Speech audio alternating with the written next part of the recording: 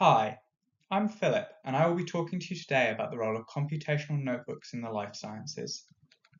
In this RDMbite, I will explain what a notebook is and how you can get one before finishing by describing why moving your analysis over to a notebook format could save you time and improve your science.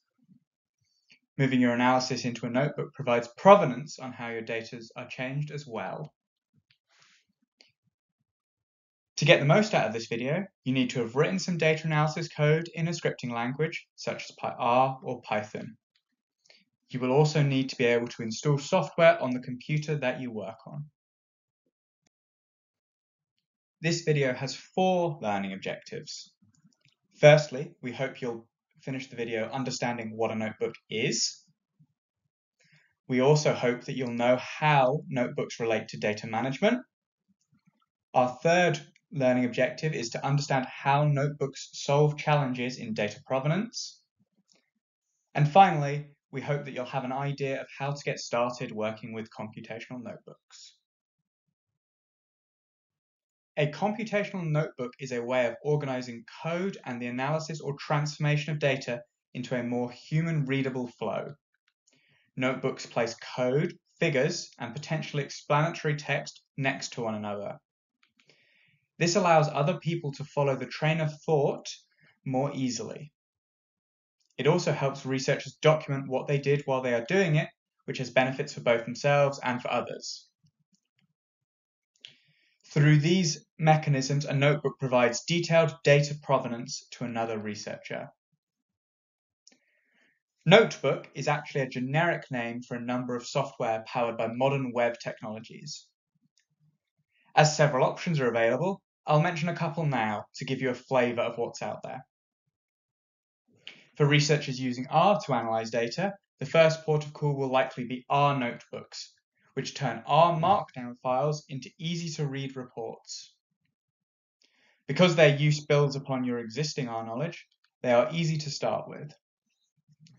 You can find a good introduction in chapter 3.2 of R Markdown, the definitive guide, a free version of which can be accessed via the link in the description of this video.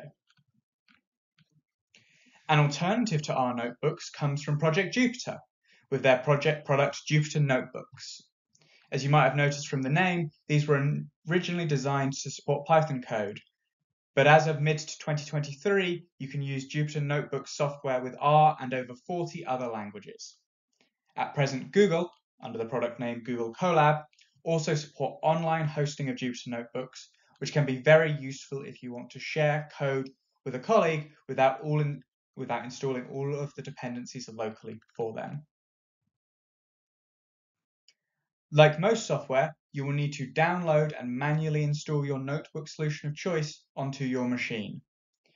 You can find locations for these downloads in the description of this video. I've also included links to the documentation pages of these methods where you can find detailed, up-to-date instructions on how to download and install the software. Because notebooks are designed to be fairly interactive, once you've installed them, you can simply run a command to get started. On this slide, you'll see a picture of what the current version of a Jupyter notebook looks like when opened fresh. There are two ways I like to think about notebooks as a tool, and both of them provide excellent motivations for adopting notebooks in your workflow. In route one, we think of notebooks as a way of taking work you've already done and making it more readable and accessible. This makes it also makes it more useful for you and your colleagues. To get started, simply find an analysis that you think is particularly good and rewrite it as a notebook, explaining the steps you took as you go along. Our second route is to use your notebooks as an analysis and data provenance tool in and of itself. This is an already an extremely common practice in commercial data science work, as notebooks strike a good balance between functionality and readability. To summarize, moving your workflows to notebooks could well make your work quicker to do and more accessible to others. Thank you for watching this RDMbite. You can find more information, tips and tricks at the links in the description.